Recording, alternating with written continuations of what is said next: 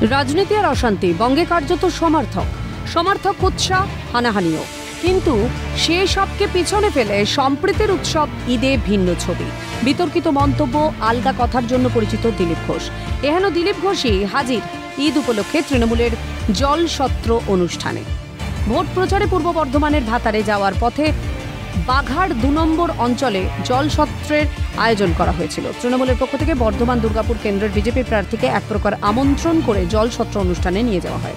দেওয়া হয় সর্বত তৃণমূলের আমন্ত্রণ ফেরাননি বিজেপির প্রাক্তন রাজ্য সভাপতিও। বর্ধমান উন্নয়ন সংস্থার চেয়ারম্যান তথা তৃণমূল নেত্রী কাকলি তার সামনেই দিলীপ ঘোষের সঙ্গে সেলফি তোলেন শাসক দলের কর্মীরা। দিলীপ ঘোষও সম্প্রীতির বার্তা দেন, বুঝিয়ে দেন, রাজনীতি থাকবে রাজনীতির জায়গাতেই। সবাই মিলেমিশে পালন করা উচিত।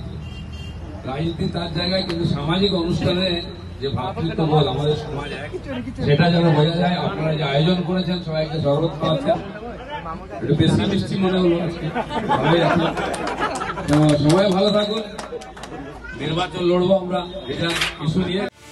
চেনা মেজাজেই অবশ্য বৃহস্পতিবার দিনটা শুরু করেছিলেন দিলীপ ঘোষ। সকালে প্রাত ভ্রমণে বেরিয়ে ছোলা গুড় খেতে দেখা যায় তাকে। ছোলা গুড় কি তৃণমূলের গুড়? বাতাসার পাল্টা? অকপট দিলীপ ঘোষ।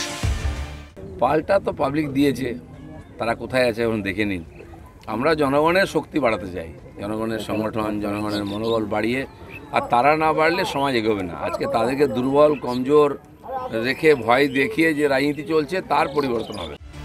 তৃণমূল প্রার্থী কীর্তি আজাদকে ঘোড়ায় চড়ে ভোট প্রচার করতে দেখা গিয়েছে। সেই প্রসঙ্গেও নিকটতম প্রতিদ্বন্দ্বী প্রার্থীকে উদ্দেশ্য করে কটাক্ষ ছুড়ে দিয়েছেন দিলীপ ঘোষ।